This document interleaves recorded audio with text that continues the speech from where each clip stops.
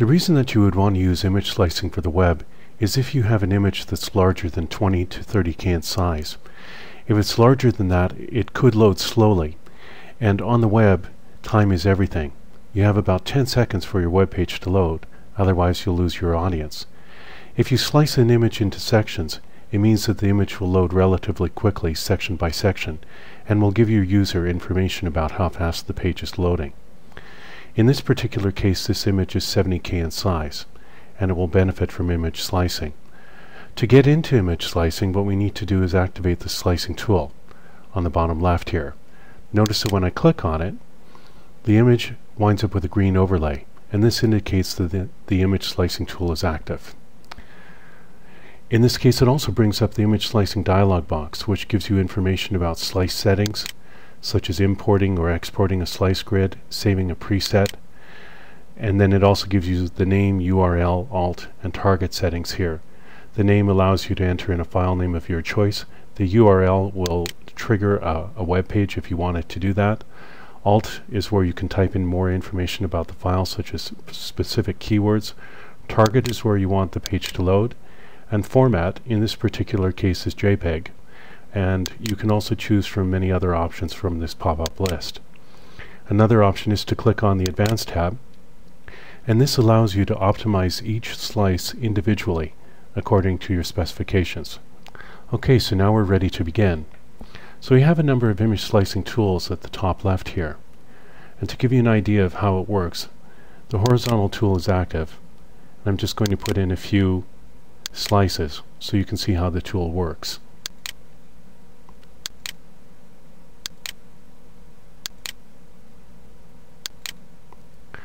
Okay, so now that we have a number of slices in place, if for any reason you decide you don't like the position of the slice, you can click on the slice selector, choose a given slice in the image, and move it around to a new position. If you don't like the way a slice looks, you can also erase it.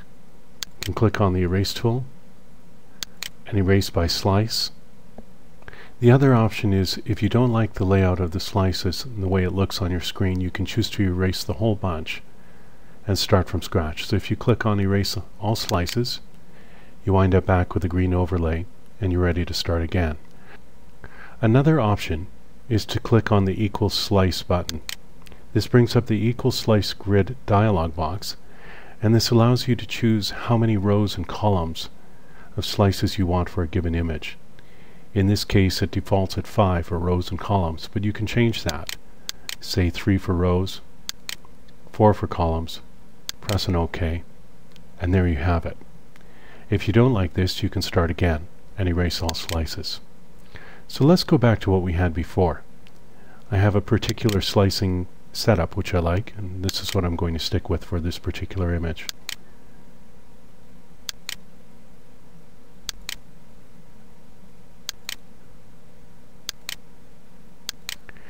Now that I have the slicing layout that I want to use, I'm ready to save the image. So I go under File, Export for Web, and this brings up the Export for Web dialog box. The first thing I want to make sure of is that I have a file name typed in, in this case it's Mach 10, which is what I've been using for my layout. I want to make sure that the HTML and images button is enabled.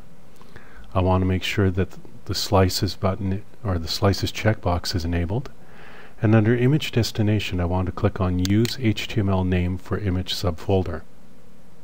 I also want to make sure that the display in browser option is checked so that when I click on save it will bring up the browser showing me what my sliced image will look like when it's finished.